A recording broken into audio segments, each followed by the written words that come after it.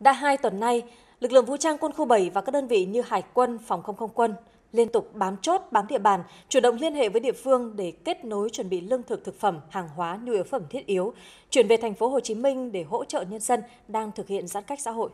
Mỗi ngày thì có hàng trăm tấn lương thực thực phẩm từ nhiều nơi vận chuyển đến và tất cả những mặt hàng thiết yếu này đều được cán bộ chiến sĩ các đơn vị vận chuyển xuống nơi tập kết, bóc tách thành hàng trăm gói ngàn gói an sinh chuyển đến tận tay người dân.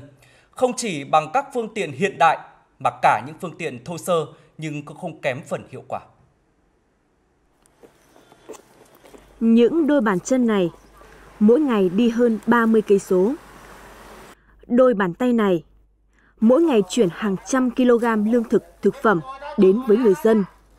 Dù ngày nay, Quân đội Nhân dân Việt Nam đã được trang bị rất nhiều phương tiện vận tải hiện đại, tuy nhiên, ở từng địa bàn, cán bộ chiến sĩ đều có cách vận chuyển phù hợp. Những chiếc xe đạp thổ này chở được từ 200 đến 300 kg hàng hóa mỗi chuyến, như những chiếc xe đạp huyền thoại đã tham gia vận chuyển lương thực, thực phẩm trong hai cuộc kháng chiến giải phóng dân tộc, thống nhất đất nước trước đây.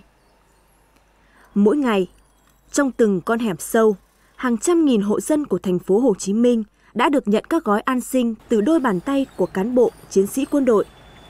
Xe đạp thổ của bộ đội không những nâng cao hiệu quả trong vận chuyển hàng hóa mà còn tạo ra những cảm xúc riêng cho người dân.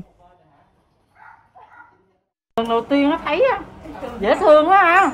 Cái cái cái cái cái cái cái, cái xe đó dễ thương quá. Xe mua rồi.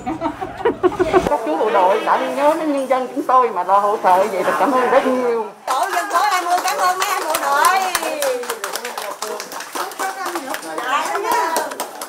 Cái này thì cũng rất là giúp đỡ cho chúng tôi trong những cái con hẻm sâu, những cái chỗ phương tiện mà không thể nào đưa vào được hạn chế là cái ờ, sức của bộ đội khiêng vác rất là, là, là, là ứng dụng rất tốt.